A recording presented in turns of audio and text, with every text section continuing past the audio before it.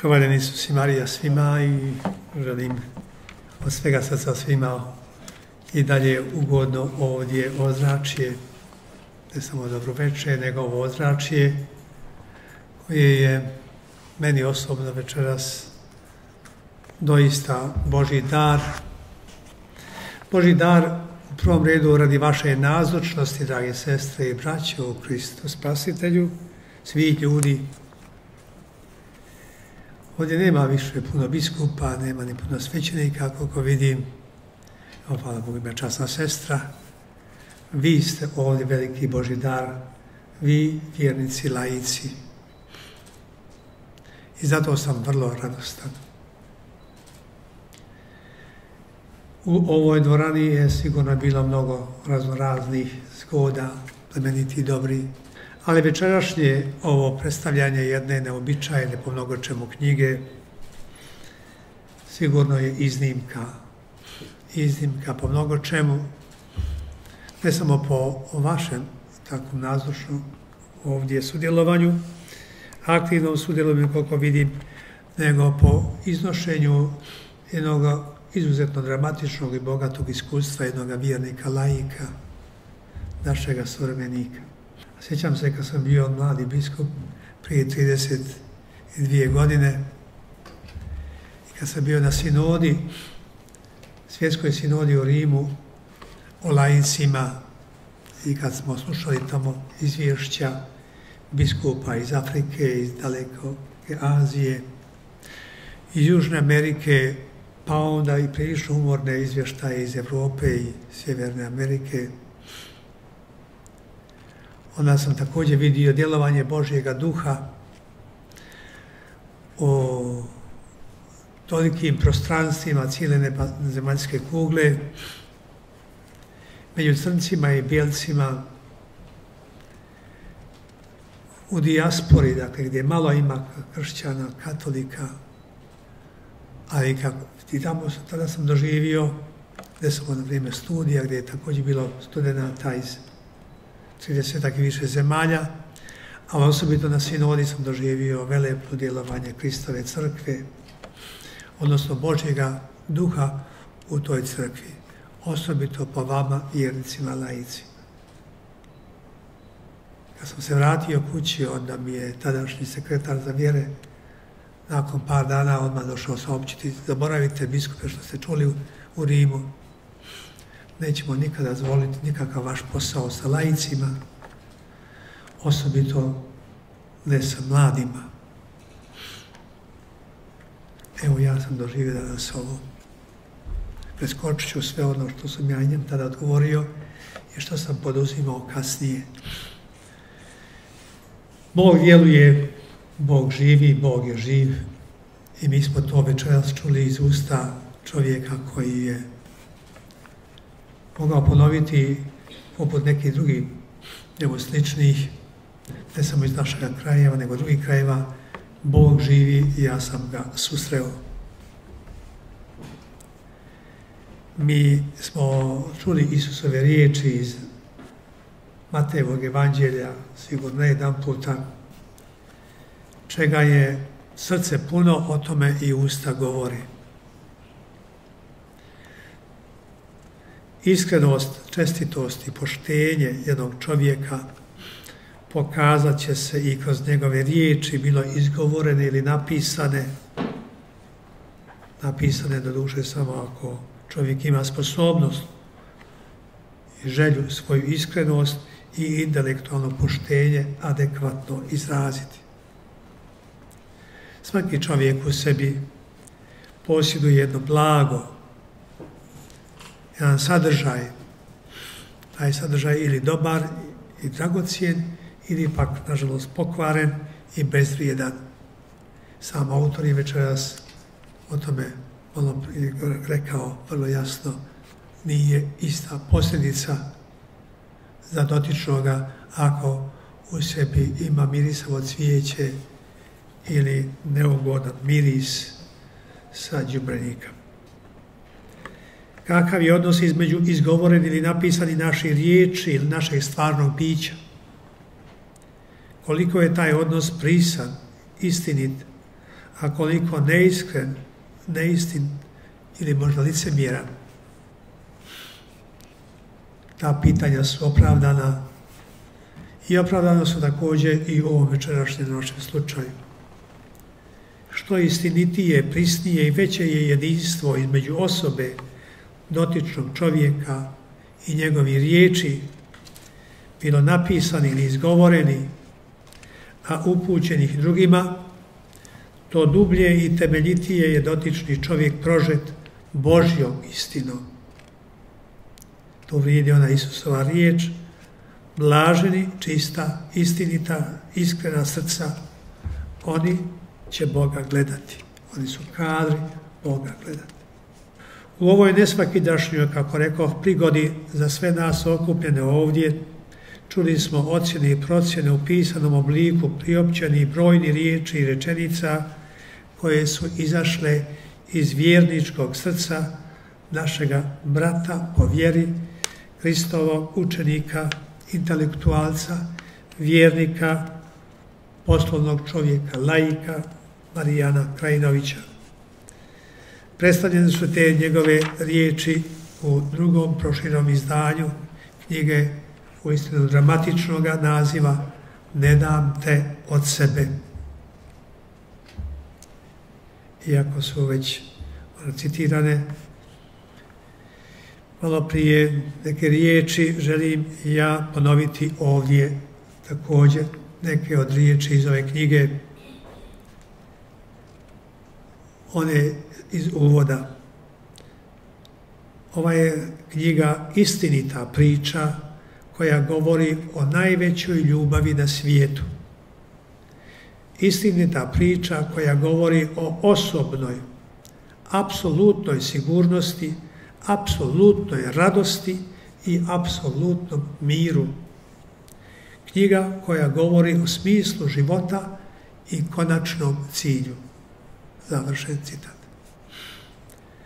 To je dakle dragocjeni sadržaj, silno usrećujući ne samo za onoga koji ga u sebi posjeduje, to jest autora, brata našega Marijana Krajinovića, te ga rado daruje i drugima koji požele saznati više o tom dragocjenom njegovom sadržaju i daru, čitajući stranice ove knjige, nego i za sve čitatelje stranica ove knjige. Dakle, Radi se o istini, o sigurnosti, o radosti, o miru, o smislu i o konačnom cilju života. Sve prekrasnije sadržaj od prekrasnoga. U istinu blago onome tko takvo dragocjeno blago u sebi posjeduje. A posjeduje ga, kako je čusmo, autor ove izvanredne knjige, večeras ovdje među nama nazočni, naš sunarodnjak, naš suvremenik i brat u vjeri Marijan, po njegovim i kasnijim dijelima i ponašanju doista zahvalno dijete Božije i svjedok Božjega neobičajenoga milosnog zahvata u njegov život. Taj zahvat je bio osobito učinkovit i plodan po njegovom dobivenom od Boga a u zadnjem dijelu knjige prikazanom križu i po njegovom uz Božju pomoć uspješnom prihvaćanju i nošenju toga križa. Ja ću ponoviti slične riječi koje sam evo, dao kao komentar kad sam pročitao ove knjige.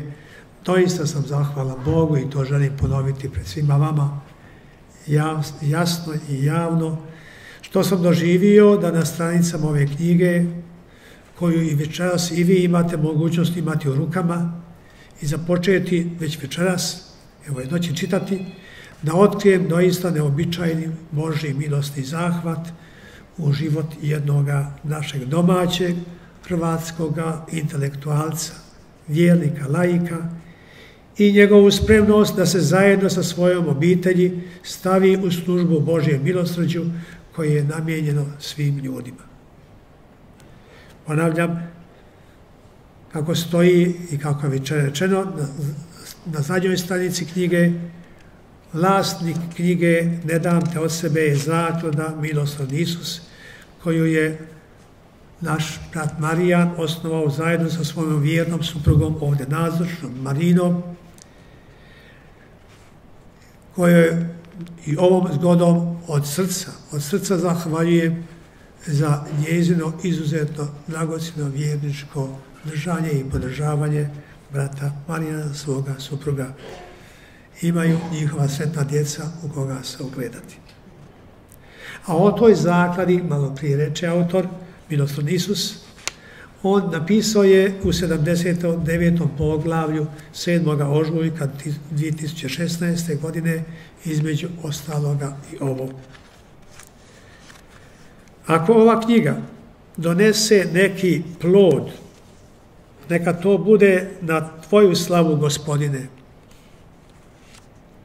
Zbog toga ovu knjigu poklanjam tvojoj zakladi, milosrdni Isus, koju će osnovati sa suprugom i to sa ciljem da pronosi tvoje milosrđe po cijelome svijetu, onako kako si ostavio svetoj Mariji, redovnici Mariji Faustini Kovalskoj, da te svi ljudi na svijetu upoznaju.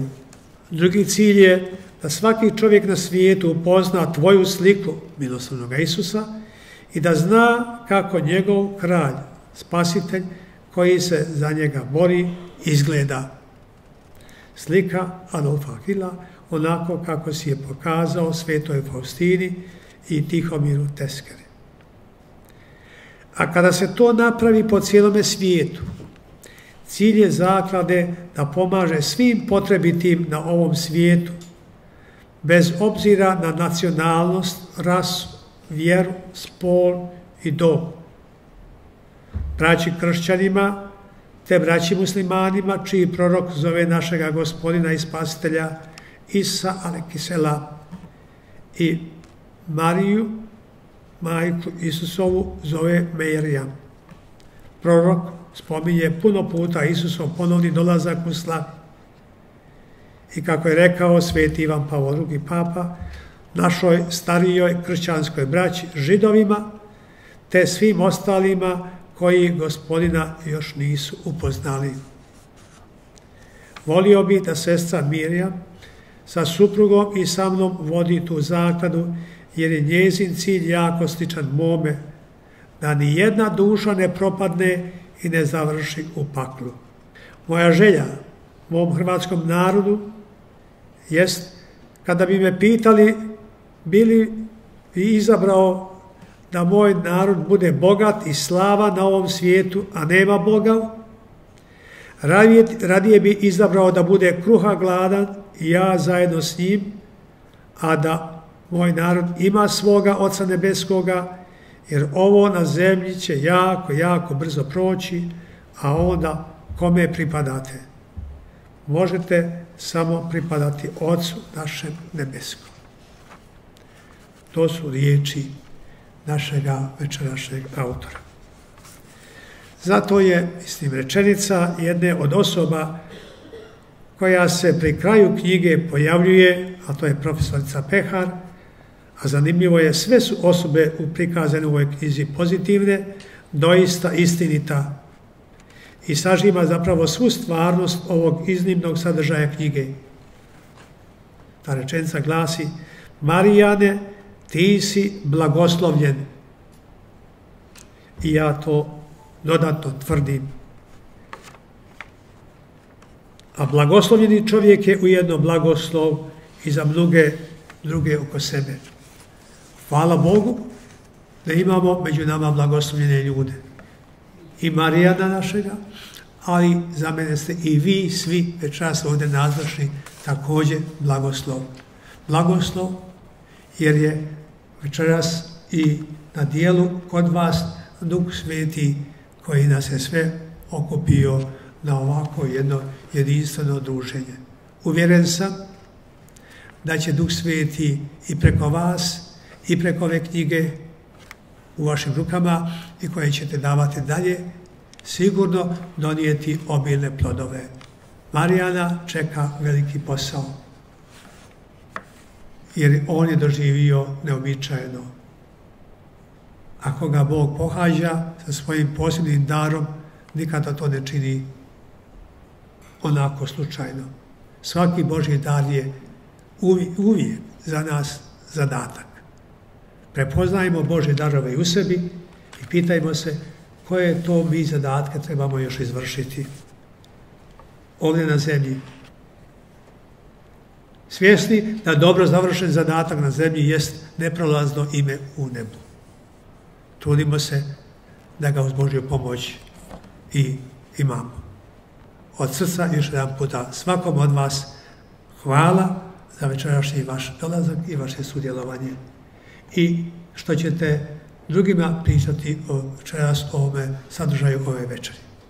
Bog vas sve blagoslovio i želimo svega srca i blagoslovljenu ovu svetu nedjelju koja je stoji pred nama i blagoslovljen i radostan uskrs. I živite i dalje kao uskrsni ljudi. Oni koji su doživjeli i doživljavaju Isusa na dijelu živoga. Hvala